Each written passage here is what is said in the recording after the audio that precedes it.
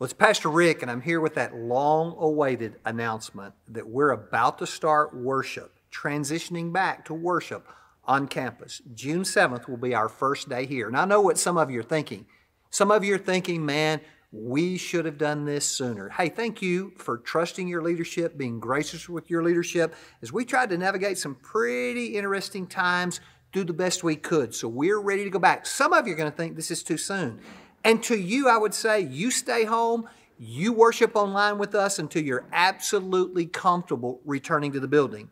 When you do return, all of the auditorium doors will be open. We don't want you to have to touch anything that it's not necessary for you to touch. There will be no passing of offering plates. We'll not be handing out worship folders. We're going to ask you to come in to our normal set auditorium and practice your own social distancing.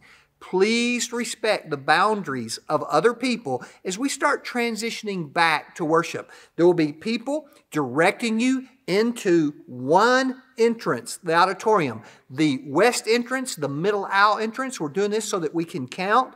And when we reach our limits in our main auditorium, then we're going to move people to an overflow area so we can continue to practice social distancing.